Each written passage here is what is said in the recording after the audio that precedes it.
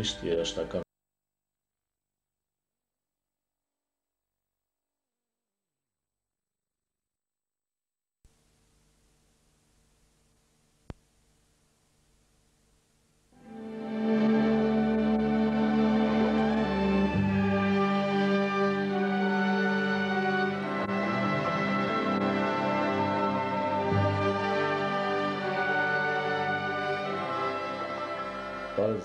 Մենք շարունակում ենք մեր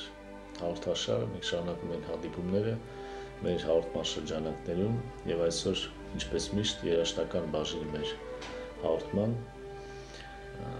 հյուր ունի։ Եվ ես հպարտ եմ եւ շատ ուրախ եմ ներկայացնել մեր այսօրվա ծրագրի հյուրին Լիլիթ Պիպոյան։ Ողջույն Լիլիթ։ Ողջույն։ Այս սարսափելի ձմեռային օրերին ինչով ես զբաղված մրսելով, տականալով, մի քիչ գործ անելով, ապրելով, այդպես։ Մենք մի քանի հաղորդումների ընթացքում հանդիպելով մեր ընդհանուր ընկերների հետ այս հաղորդման շրջանակներում մի շոշափել ենք մի հարց, որը ոնց որ թե կենտրոնական հարցն է այս հաղորդաշարի եւ երևի թե ամենահետաքրքրող մեր հերոստատիտողին։ Ինչ է այսօր երգը, ինչ է այսօր երկարվեստը, ինչ է այսօր ստեղծագործությունը եւ ինչ է այսօր երկիչ լինելը Հայաստանում։ Ես կարծում եմ, որ երկարվեստը այսօր գրավում է երաժշտության մեջ, ընդհանուր երաժշտության մեջ, շատ ինքնուրույն տեղ եւ շատ ակտիվ տեղ որը իմ կարծիքով, իմ անձնական կարծիքով այնքան էլ ճիշտ չէ։ Ես ուրախ եմ իհարկե, որ հայտնվում են ամեն օր նոր դեմքեր, Եվ իհարկե ես գիտեմ, որ քանակն է որակ տալիս, բայց ես կցանկանայի, որ ոչ թե գերիշխեր այն երկարվեստը կամ երկելու ցանկությունը միայն, որը նկատում եմ այսօր Հայաստանում եւ որը թվում է շատ մարդկանց շատ հեշտ եւ որի ճանապարհին շատ հեշտությամբ են կանգնում, թեթևակի որևէ ունակություն ունենալով երկելու, կանգնում են այդ ճանապարհին, կարծելով, որ դա հեշտ կյանք է, գեղեցիկ կյանք է, եկամտաբեր գուցե կյանք է։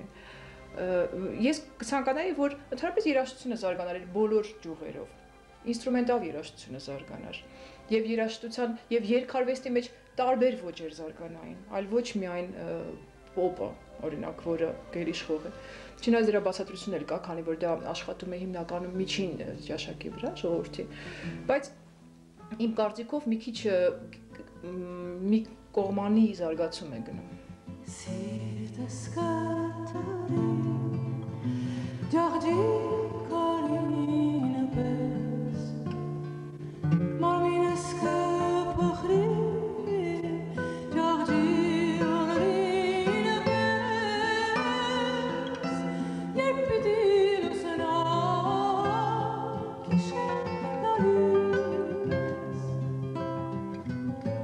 սովոր ենք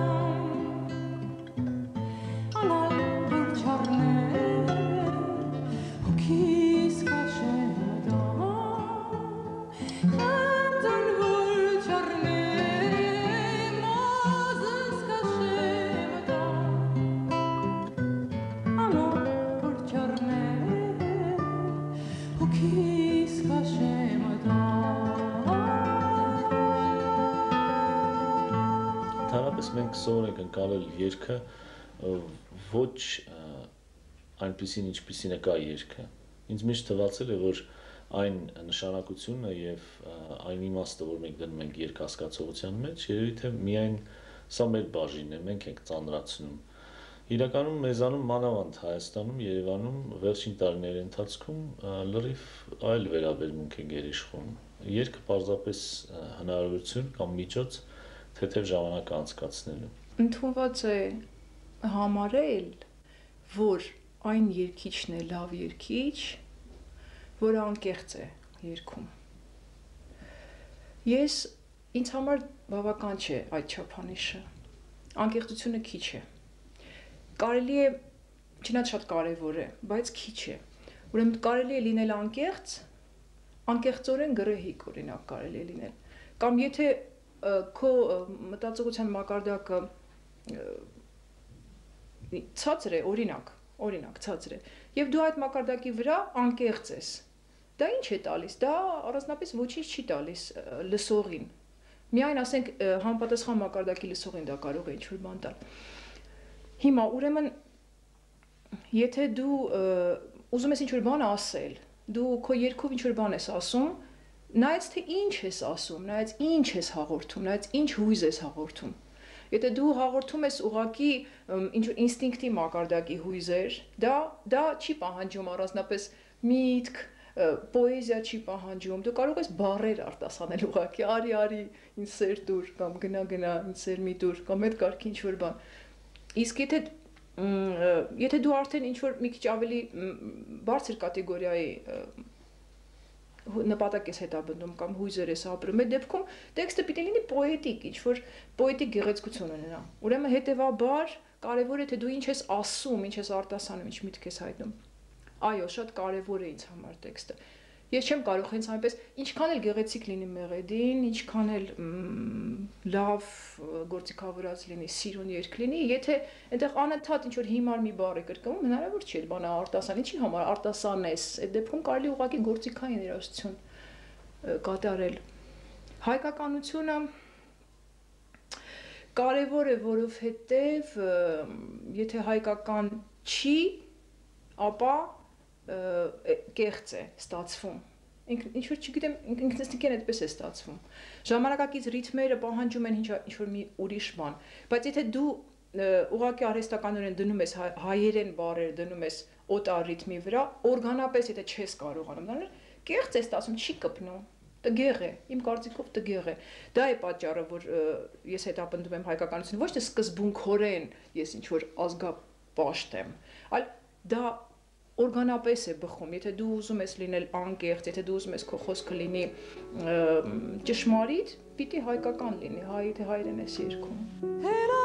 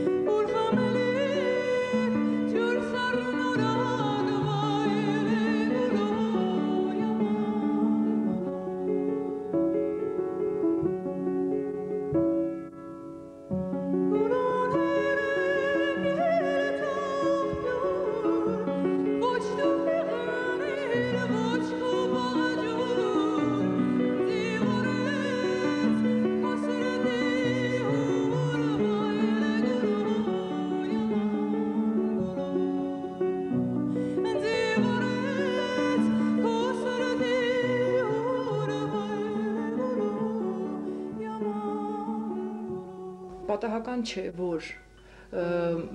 ծաղկում է օրինակ հումորը, հումորի հետ առնչվող ժանրերը։ ծիծաղը, թեթև երաժշտությունը, որովհետև մարդիկ ինչքան ես զրուցել եմ մարդկանց հետ, այդպես են պատճառաբանում։ Նրանք ուժ չունեն, ուժ ուղակի ֆիզիկական եւ հոգեկան ուժ չունեն լուրջ խորը վերաբերումների։ Այդպես են։ Դա մի կողմը, երկրորդ կողմը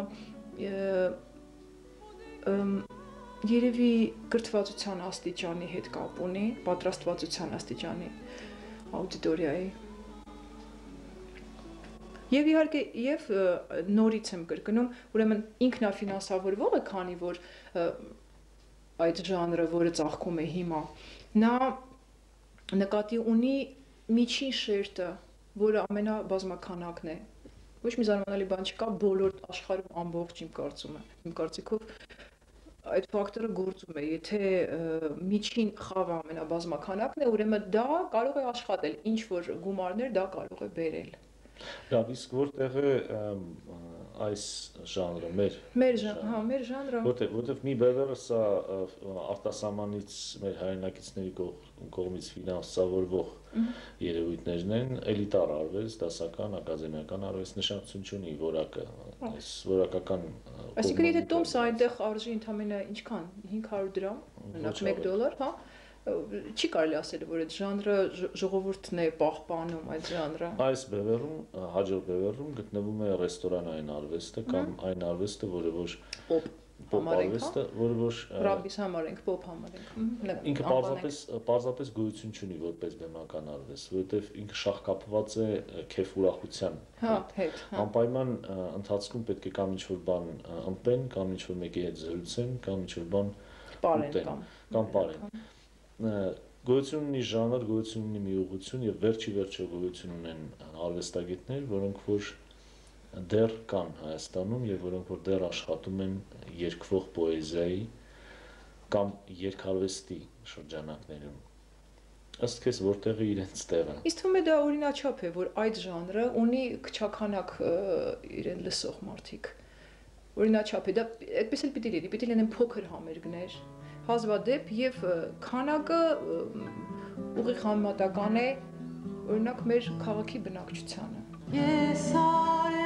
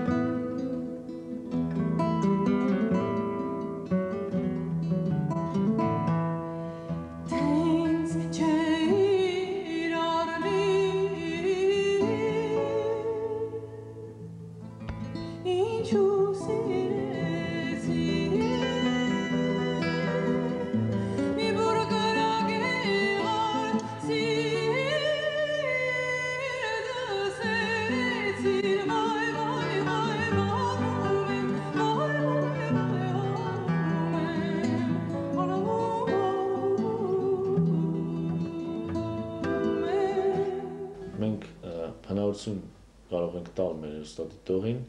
ձեռք բերել CD-ները, ձեռք բերել մեր բոլոր հյուրերի CD-ները եւ այսօր չտեսնված առիթ է, որ ես կարող եմ ներկայացնել եւ Լիլիթ Պիփայանի CD-ին, եւ Էդվարդ Զորիկյանի, եւ Արմեն Մոսիսյանի, եւ Շուշան Պետրոսյանի եւ նրանց բոլորի, ովքեր որ մասնակցել են մեր հաղորդաշարին, ովքեր որ եղել են հյուր մեր ծրագրում, եւ դուք կարող եք ձեռք բերել այս CD-ին դիմելով այն համարներով, հեռախոս համարներով եւ այն հասցեներով, որը որ հիմա ձեր էկրանին են։ Փառք Աստծո, դու ունես 3 հատ ալբոմ, երկուսը որտեղ որ նաև քեզ ընկերակցում են մի դեպքում երկհանները, մի քանի հոգի, 5 հոգի երկհաններ, մենք առիթ ունեցել ենք ներկայացնել այս CD-ին, երբ զրուցել ենք Էդի Գեձորիկյան եւ Արմենի։ Երկրորդ լազերային սկավառակը Ռուբեն Ախմերձյանի հետ է եւ իհարկե Լիալուսինը քո անհատական արդեն լազերային սկավառակն է, անհատական աշխատանքն է, որը որտեղ որ այ ինքդ պատմի։ Ինչի մասին սրա։ Ինչ է, ինչ է, ինչ է կապված այս ալբոմի հետ, ինչ երաժշտությունն է, ինչ գործիքավորում եւ ընդհանրապես ինչ աշխարհ ես փորձում ստեղծել այստեղ։ Նպատակս էր գտնել սինթեզը հայկական լադի մեջ երկվող ժողովրդական շնչի, այսինքն մակրության իմաստով պոետիկ մակրության իմաստով, ինտոնացիոն իմաստով հայկականության։ Ժամանակակից մարդու միջով անցկացրած դա։ Եվ նաև ես օգտագործել եմ ակուստիկ գործիքներ այստեղ միայն փորձել եմ գտնել այն ոսկյա միջինը։ Գիտես, Բայց հիմա այսօրվա օրով ես երբ նայում եմ այս իմ ձայնագրություններին, ես կարծես թե արդեն մի քիչ ավելի առաջ եմ անցել կամ կողք, չգիտեմ, համենայն դեպս հիմա երկրորդ CD-ն անելիս ես երևի նույնը չեմ կրկնի։ Բայց այն ժամանակ ես ուզում ինձ թվում էր, որ դա էր ճանապարհը գտնելու ոսկյա միջինը ժողովրդականի հետ, բայց որը չլիներ զուտ ֆոլկլորիկ։ Դասականի հետ, բայց որը չլիներ, գիտես, եվրոպական դասական երաժշտություն եւ ժամանակակից էստրադայի հետ, բայց որը չլիներ այն ժամանակվա սովետական էստրադան, նաեւ չլիներ նմանակում կապկումը արևմտյան երաժշտության։ Այսինքն այդ երեքի ոսկյա միջինն էի փորձում սրանով գտնել, դա էր իմ խնդիրը, գերխնդիրը գուցե եւ ինչ որ իմաստով ես հասել եմ նպատակին կարծիքով։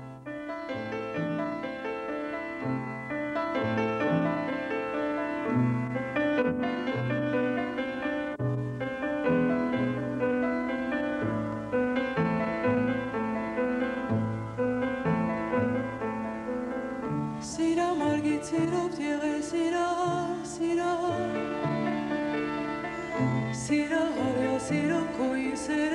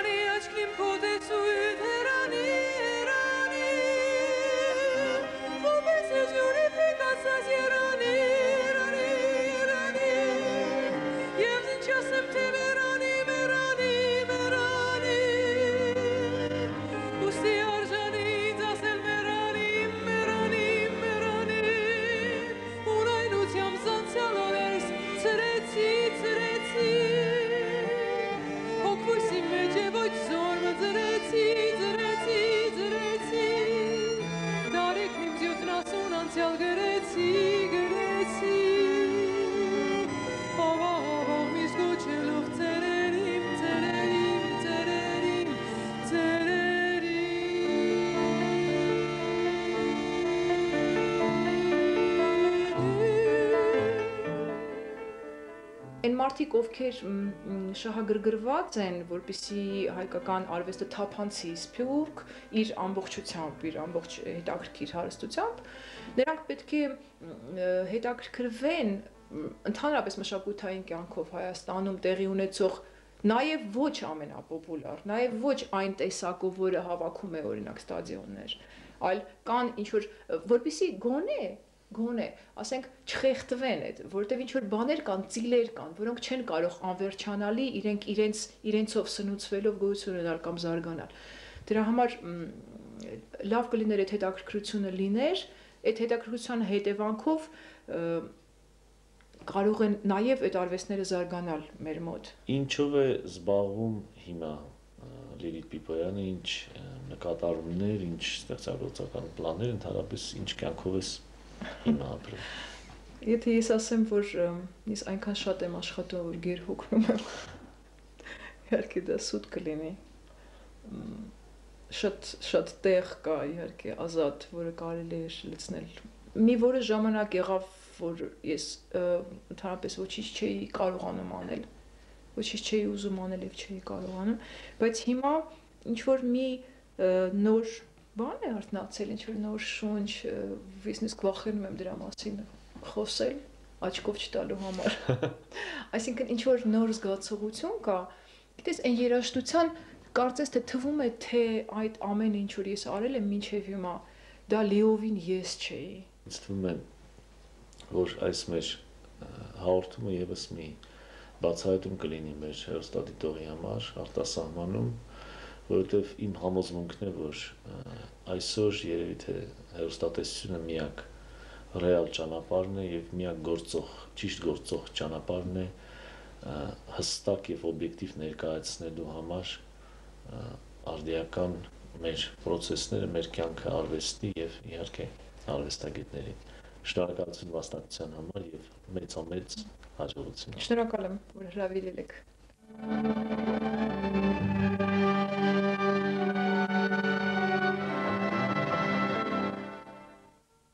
Խաչի ձորությամբ պահպանիր հայոց երկիրը չկնա։ Պահպանիր սերը բոլորի սրտում եւ բարու սեր մեր մեր հողում ցանիր խաչի ծորությամբ փրկիչ աշխարի պահավան եղիր մեր զավակներին հիշատակների անթեղված հողում խաչի ծորությամբ աշխարը պահիր չարիքից հեռու